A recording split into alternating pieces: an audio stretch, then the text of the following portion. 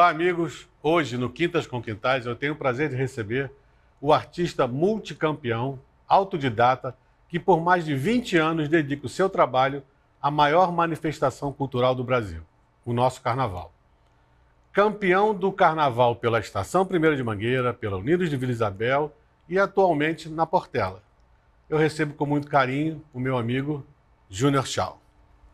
Júnior, tudo bem, querido? Tudo bem, Mauro. Obrigado pelo seu carinho, pela sua atenção, seu zelo de sempre. É um prazer enorme estar com você aqui nesse momento. Eu que agradeço, né, em nome aqui da TV Alerj, de toda a direção da casa, da tua presença. E você sabe que o nosso programa aqui, o Quintas com Quintais, ele tem o objetivo de levar para quem não tem acesso né, aos, aos bastidores do carnaval e aquele que também tem interesse em se projetar dentro dessa carreira, então eu sempre trago artistas, eu trago diretores, eu trago é, coreógrafos. E hoje é a primeira vez que eu recebo um diretor de carnaval. Uau.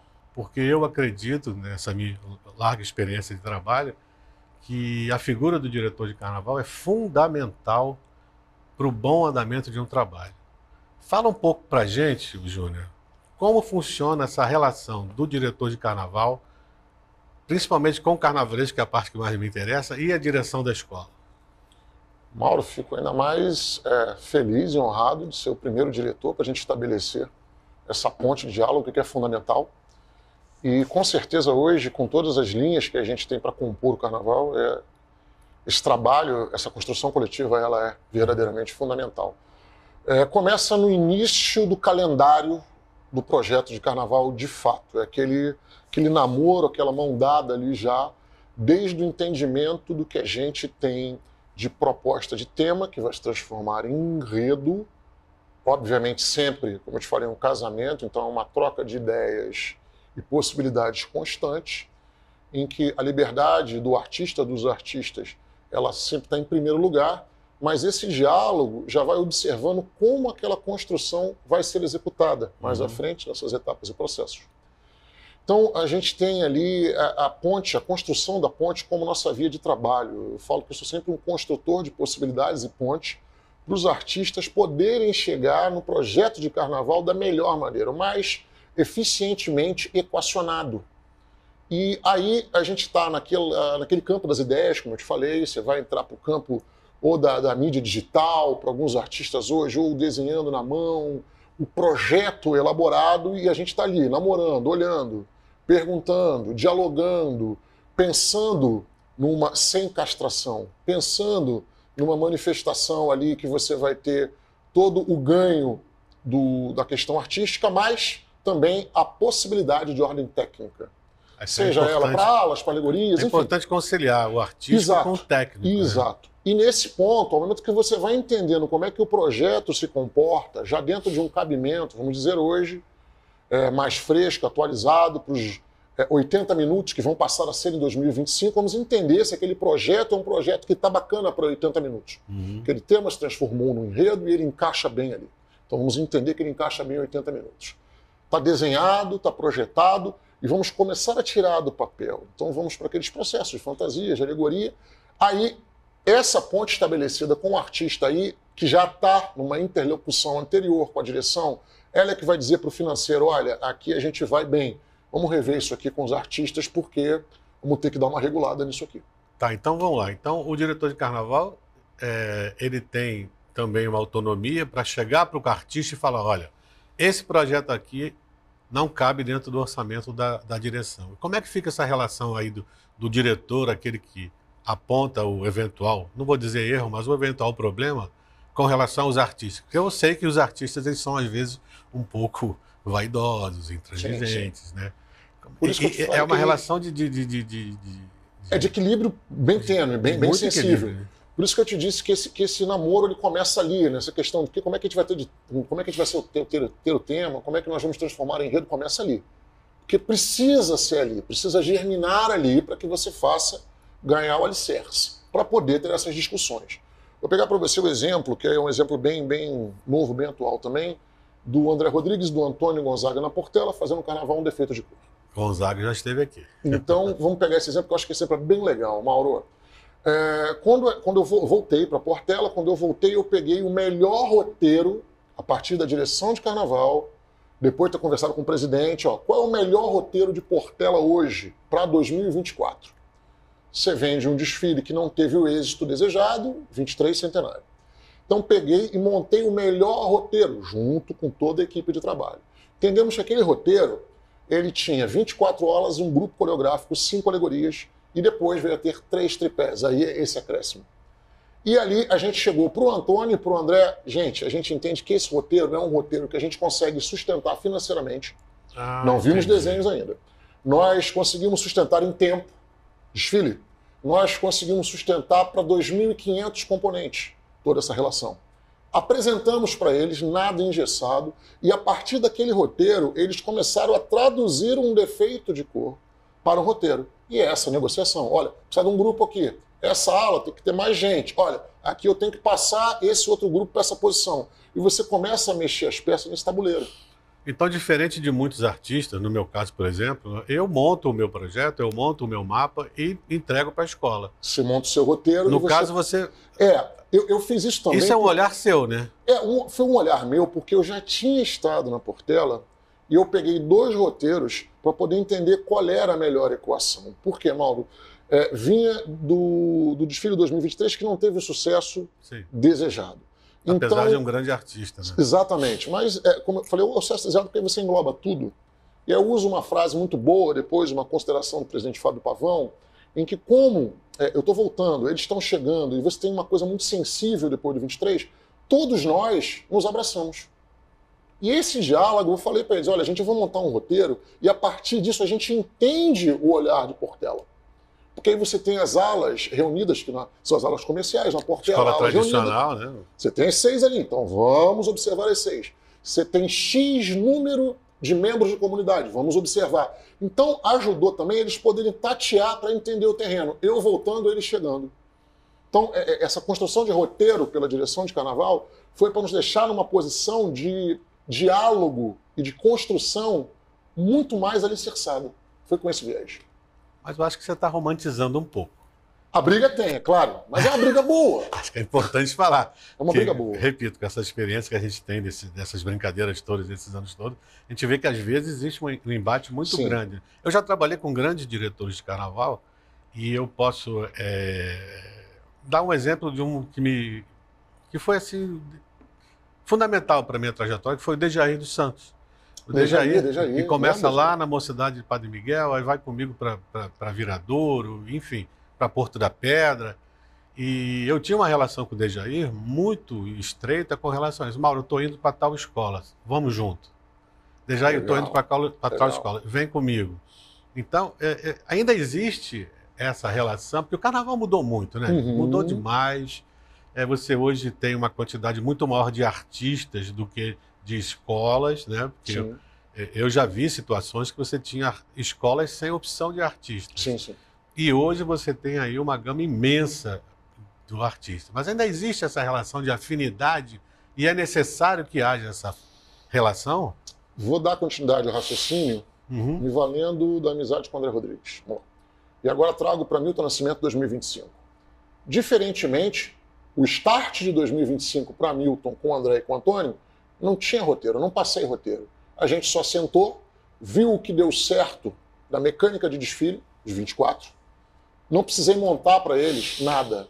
André chegou com o Antônio e falou: vamos seguir esse mesmo desenho, vamos só mexer as peças onde for pontual e necessário? Bacana. Então eles estão construindo em cima daquela boneca que foi eficiente.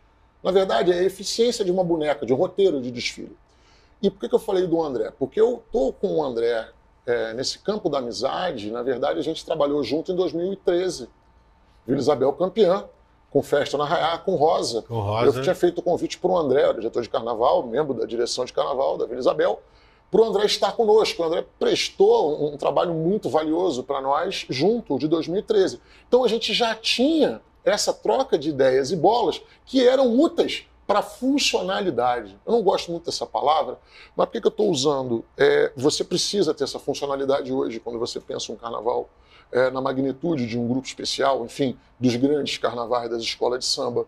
E essa relação, tecer a lembrança com o André, ela é importantíssima, ela existe, sim, Mauro, muito bem lembrado, inclusive de você ter diretores que acompanham o, o artista maior, o carnavalesco, ou vice-versa, grupos que trabalham contigo seguindo, um pintor de arte, um bom escultor, um grande aderecista, e assim a gente vai construindo esse time. Mas ela é muito valiosa porque você entende a mão do artista, a leitura, a assinatura visual do artista. Falando isso, e estou com a cabeça aqui voltada para André e Antônio já terem conseguido uma sinergia muito grande e assinarem visualmente é um defeito né? de cor. Eu acho que isso é fundamental, acho que fica o recado aí para os diretores de carnaval, essa relação com o artista, no caso específico o carnavalesco, né, que existem vários artistas. Eu costumo dizer Sim. que o carpinteiro é um artista, Sim. o ferreiro é um artista.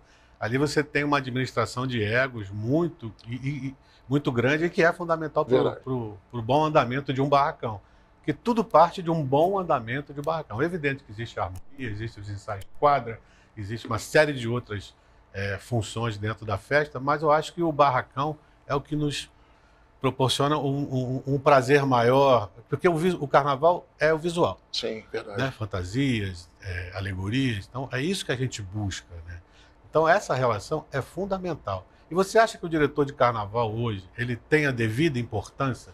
Eu falo já, já estou falando da, do núcleo grupo de acesso, série é, é, é prata, série ouro, especial.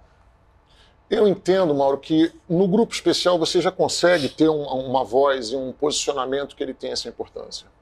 Nos outros grupos, aí eu falo de uma carência, tá? Estou falando para você de uma carência. Eu converso com várias, é, vou fazer 51. Então eu já estou numa jornada aí bacana de tempo. É um menino. 51 ali, mas já estou mais de uma, duas décadas, a gente vai vendo os novos chegarem. E você tem uma dificuldade aí, porque para a direção de carnaval ou para a direção de harmonia, você precisa estar tá ali no chão da fábrica, você precisa ter essa rodagem. Uhum. E muitos não conseguem ter rodagem. Estou pegando o teu raciocínio do barracão, de estar no barracão, horas de voo, esse diálogo, essa construção. Ele não tem, se ele tiver só, eu não estou aí é, questionando, estou só fazendo uma observação minha, empírica. Se ele só tem as horas de voo de quadra, falta para ele o barracão. E essa construção é barracão. Depois ela vai migrar para a quadra e vai fazer paralelo ali, esse enlace vai caminhar até se tornar um. Mas eu vejo que para a direção de carnaval nos outros grupos é você, por não ter o espaço de construção de um projeto tão grande, uhum. eles ficam é, com ausências, eles ficam com hiatos nas etapas e processos que são formadoras dessa construção dos afazeres de um diretor, diretor de carnaval. Então fica um espaço, eles não conseguem preencher. Tem uma galera nova chegando que ela não tem essa possibilidade e as escolas não abrem. Você não vê um convite para terem nova. Claro que a transição tem que acontecer. É, mas você não vê um convite, cara. O novo sempre vem, isso é Vem, falo, mas né? você não tem um convite, Mauro, sabe? Você, você não tem. Eu vou usar a palavra também, não gosto, mas você não tem uma aposta. É complicado apostar nesse sentido. É para novos artistas, né? diretores. Principalmente financeiramente falando. Pois né? sim, mas eu falo que você não tem um chamamento da própria escola, Mauro. Você não olha dentro do teu seio. Vem cá, chama que eu vou aqui passar o bastão. Então você vai ter que aprender a fazer isso aqui, cara. E é dentro do barracão, dentro da quadra de barracão, mas é mais barracão. Sabe o que, que eu sinto, sinto falta no carnaval? Eu tomo como exemplo os bois de Parintins. Evidente que os bois de Parintins são só dois bois, né? Então fica teoricamente mais fácil, né? Mas existe também as crises financeiras, existe tudo isso. Mas ali, no, nessa pegada de garantido e caprichoso, eles desde pequenininho, eles têm escolas preparatórias. Eles formam escultores, eles formam pintores, eles formam pajés, né? Então, eu vejo em Paretins, e gostaria que isso servisse de exemplo, que eu não vejo no carnaval. Perfeito. Uma base, mesmo que essa base seja coletiva. Olha, a Liga das Escolas, vamos ser mais claros, a Liga das Escolas, a partir de hoje, vai dentro da, da cidade do Samba criar um projeto de profissionalização artística Sim. desde pequeno. Né? Ali você vai se desenvolvendo um ou outro, o outro consegue esculpir melhor, pá, pá, pá, pá, aproveitando, evidente, a mão de obra que hoje trabalha, né? e ali você vai formar uma nova geração. Me preocupa muito essa questão da nova geração. Eu vejo o carnaval com muitas mudanças. Sim. E rápidas. E rápidas. Né? Não vê, por exemplo, eu não vou citar negócio de três dias, dois sim, dias, sim, sim. mas eu estou falando assim dos envolvidos com a festa. Sim, sim. Né? Eu vejo uma geração que chegou de metendo o pé na porta, né? E isso oxigenou demais a festa, mudou a festa demais. Você concorda que a gente mudou politicamente, a gente mudou artisticamente, a gente mudou a, até mesmo o conceito da figura do carnavalesco, que era aquela figura firme e única, né, que todo mundo. Eu lembro do João, João mandava, fazia. Mudou muito, né? Mudou muito. Mudou muito. E essa, essa mudança, Mauro, ela, ela acontece, eu costumo dizer, eu olhando por essa questão do diretor de carnaval, eu sempre falo, eu estou pensando um pouco no barracão, mas também na quadra, eu sempre falo para o pessoal da harmonia, para a construção das equipes. A pessoa que entra numa quadra de escola de samba hoje, sendo um convidado, um componente, ela não é mais a mesma pessoa que entrou dois anos atrás ou três anos. Então, você já muda aí. E quando você vai para. Pensando questão de você ter uma quadra como um núcleo social. Quando você vai para dentro do barracão, e aí você falava que eu acho que é fundamental o que você disse, de você ter a profissionalização, de você ter é, é, os cursos, as oficinas, workshops, a, é o trabalho de base para criar, porque o que acontece é o seguinte: eu recebo muitos chamados, muitos contatos de pessoas para a direção de carnaval que querem entrar no barracão. Essa é a grande dificuldade. Ele quer entrar porque ele quer entender como é que funciona a engrenagem. Uhum. Então, quando eu falei da quadra, é porque você tem uma questão que é muito interessante no carnaval e nessa renovação nós pecamos de maneira geral. É, se eu quiser ser um ritmista da Portela, eu terei uma oficina. Se eu quiser aperfeiçoar o meu samba no pé, eu teria Nilce Fran, excepcional, fazendo um trabalho lá. Então eu tenho um trabalho de quadro, até para minha sala de porta-bandeiras, é, o grande mestre Manuel Dionísio, aí, talvez seja a figura sim, mais sim. É, de vulto em relação a isso, eu consigo ir. Mas se eu falar, Mauro, hoje, vamos tentar passar para um grupo jovem, com a cabeça fresca, nessa renovação, todas as linhas de harmonia e direção de carnaval, você não tem. Você vai chegar para a quadra por um protocolo de bandeira, por um protocolo de quadra, que não vai suprir as tuas necessidades de linhas de composição de um carnaval de barracão e de avenida. Então isso não é passado, é, isso não é exposto, isso não é discutido, isso não é acertado, se você não erra isso, você não faz isso. Esse é o buraco que eu te falei. É importante não... a gente pensar na perpetuação da festa enquanto profissionais que ali estão trabalhando. Com certeza. Bem, Júnior, a gente vai agora para um rápido intervalo e eu volto já com mais um bate-papo aqui no Quintas com Quintais com o Júnior Schau.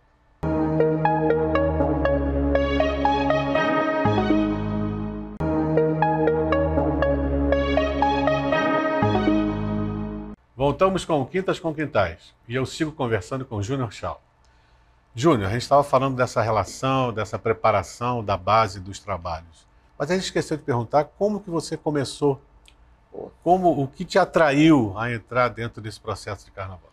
Isso é muito, muito bacana, é uma lembrança muito boa de, de trazer, de recuperar, mano. Que para mim começou é, pela questão da estética. Eu morava perto da concentração, morei muito tempo na Praça da Bandeira. Hum. Então eu morava na perto da concentração, logo na concentração, ia ver as alegorias sendo montadas, vendo o carnaval sendo montado, mas eu não era de uma escola, eu não tinha uma escola. E eu sempre desenhei. Então, qual era a minha curiosidade? Poxa, eu desenho isso, isso aqui está num plano que é o plano do papel, mas aqui está construído em 3D. Eu ia ver como é que aquilo ganhava vida. E era um olhado curioso. E um dia é, veio uma oportunidade para eu poder ajudar um ateliê a finalizar figurinos. E eu fui. Eu começo em 96 no Salgueiro. Com que com Mário Borriello. Mário Borriello. Saudoso, Mário Borriello. E era finalização de figurinos. Finalizei os figurinos e a pessoa que estaria ajudando ele no barracão teve também um contratempo, não pôde. Ele virou para mim: Você quer ir para um barracão? Eu falei, quero, era só aqui, mas eu quero ir. Porque a curiosidade estava enorme, quero ir. Aí quando eu entrei no barracão, que eu vi a construção que eu via na concentração por morar na Praça da Bandeira, falei: Nossa, é isso. E, cara, perturbava todo mundo, era curiosíssimo, perguntava para todos como é que aconteciam etapas e processos. Mas até então, Mauro, eu só tinha a questão na minha cabeça do lado da estética, de desenhar e ver o desenho ganhando vida. Ponto. Eu não me preocupava com as pessoas, porque eu não entendia essa preocupação, não vinha para mim essa preocupação. Aí, quando você tem o advento da cidade do samba em agosto de 2005, estou na Vila Isabel com Lousada, a gente vai para a cidade do samba, é, com o trabalho que nós fizemos, a Vila Isabel se sagra campeã de 2006. Aí eu virei diretor de barracão, era assistente dele, virei diretor de barracão e viro uma chave no outro ano, quando eu fui trabalhar com o Paulo Barros, que era a questão humana. E aquilo aguçou mais o meu lado. Como assim a questão humana? Porque era questão humana. Você falou uma coisa muito importante. Nós somos seres visuais. E eu aprendi com o Lousada que tudo naquele templo ousado a construir assim, não sei se permanece, ele construía tudo a partir de um roteiro, um texto, que é aquele roteiro que você vai extrair tudo. Tua sinopse lá, mais rica, talvez mais é, preenchida de, de recursos ali, para você transformar em aula, em alegoria. Bacana. Eu conheci dessa maneira. Quando eu vou trabalhar com o Barros em 2027, em 2007, perdão, ele não tem texto, ele fala, olha, tudo é uma questão visual. Nós somos seres visuais, é uma questão visual. Eu não dormia naquele dia. Falei, pô, eu aprendi dessa maneira, ganhamos dessa maneira é. com o Osório. Aí, numa primeira reunião, ele fala que não tem, o texto vem depois, pense visualmente. Pensar visualmente tem que ter pessoas. O Paulo faz o caminho inverso, né? Faz o caminho inverso. Tipo assim, eu vejo o Paulo assim, o Paulo viaja para o exterior, vê uma coisa, aquela coisa tem que se encaixar. Defende depois, preenche depois e vamos. pense visualmente. O pensar visualmente me levou à questão das pessoas ali. Uhum. E quando isso foi amadurecendo, eu fiquei olhando mais para isso, é, veio a questão da direção de carnaval. E hoje, para mim, o que norteia, aí você foi no João, também faço uma ótima lembrança do João e do Laíla. Laíla, quando estava na Ilha do Governador, eu estava dialogando muito com ele no final dessa jornada dele, a gente falava quase toda semana. Coisas de carnaval mesmo, de, de como a gente estava entendendo o processo de etapas. E ele, na ilha, sentou um, dia, um dia comigo na cidade do samba e falou assim: Olha, a gente tem que valorizar de novo as pessoas, cada vez mais as pessoas. Não estamos valorizando os componentes a chave já tinha virado ali, mas eu estava ouvindo muito aquilo que ele, que ele tinha falado. Ao momento que a chave vira para mim nesse processo, hoje eu entendo o campo das pessoas muito valioso. Não mais, é uma razão de equilíbrio. Mas o que norteou foi o seguinte: é se perguntar para mim hoje, Mauro, você trabalha com escola de samba? Fala, nunca trabalhei com escola de samba um dia da minha vida. Eu trabalho com pessoas que amam escola de samba. Eu trouxe a pessoa para esse primeiro plano, para esse protagonismo maior. E a partir da pessoa a gente vai falar de todo o restante. Não diminuindo, mas equilibrando. Isso é maravilhoso, né? Ter esse entendimento, né? Isso. E você passa esse entendimento nos seus cursos, nas suas eu, palestras? Eu procuro sempre teus... passar isso. Como é que você formula esse teu, esse teu, outra faceta do teu trabalho? A partir dessas necessidades do que eu vejo, da questão da direção de, de harmonia, da direção de carnaval, de entender que tudo vai partir de um diálogo. Vou tecer um exemplo para você, para ser prático, para a gente trabalhar com uma coisa tangível.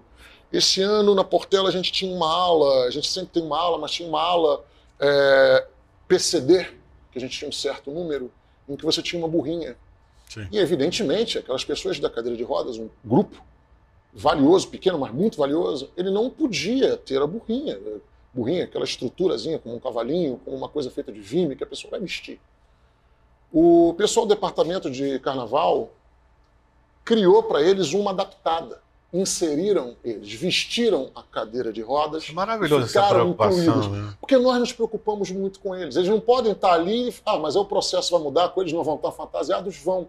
E eles ficaram muito felizes com isso. Então, na verdade, é, nos cursos, workshops, eu tento que as pessoas entendam que primeiro você tem que falar delas, das pessoas, do teu ouro, teu tesouro maior, tua comunidade, teus componentes e entender como elas são inseridas em cada etapa dos processos e de toda a construção do carnaval.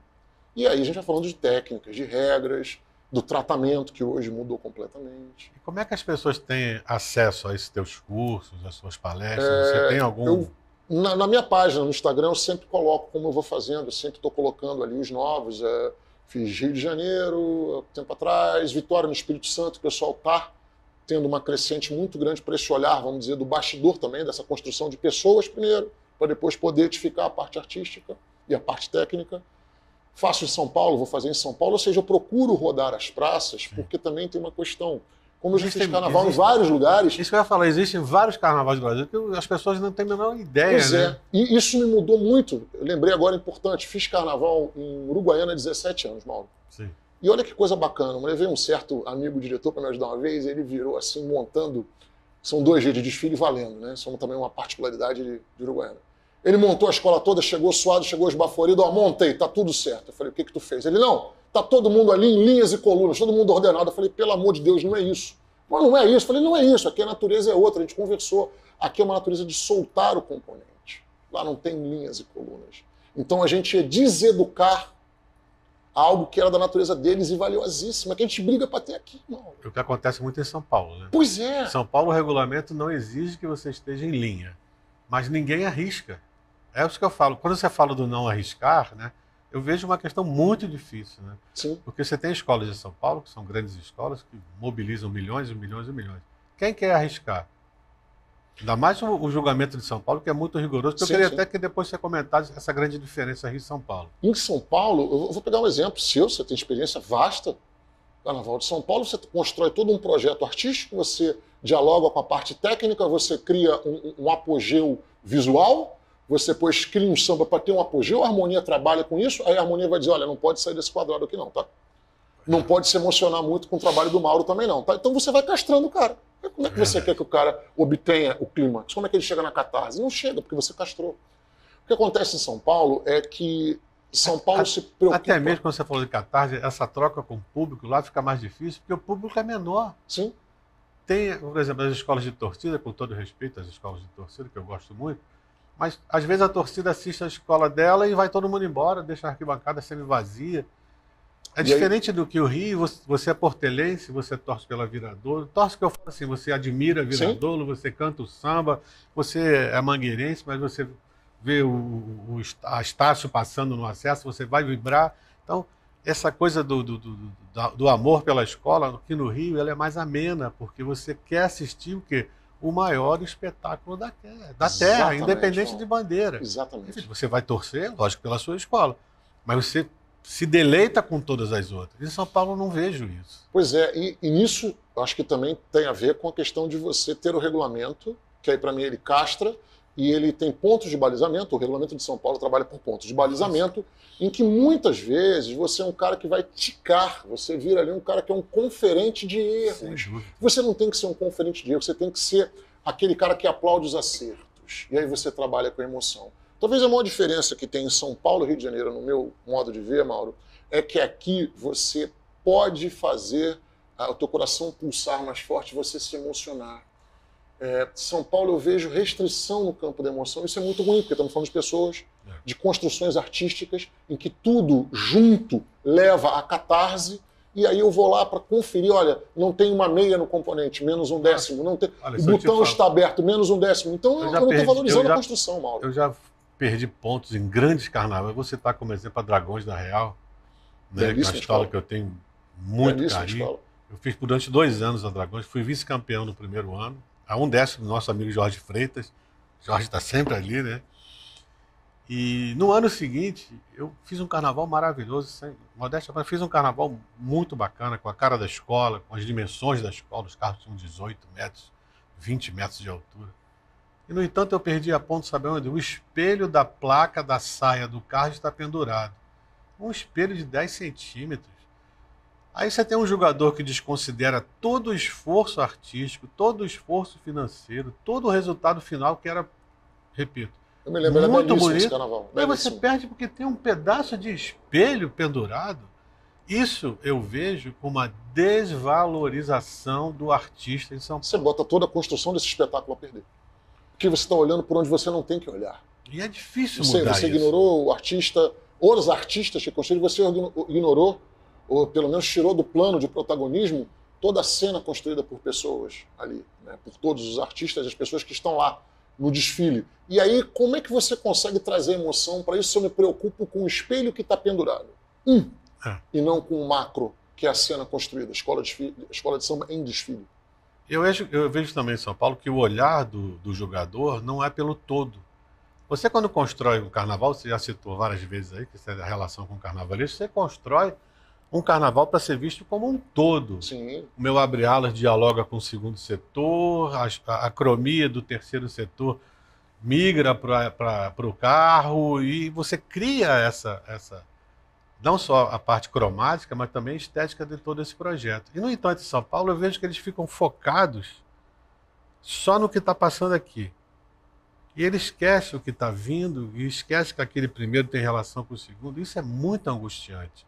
Porque você faz um carnaval preocupadíssimo com pequenos detalhes que são irrelevantes. Sim. E com isso, você tem sempre os mesmos materiais. Sim, sim, sim, exatamente. Né? Porque você não pode arriscar, porque vai pegar chuva e papapá, papapá, então você está sempre trabalhando os mesmos materiais.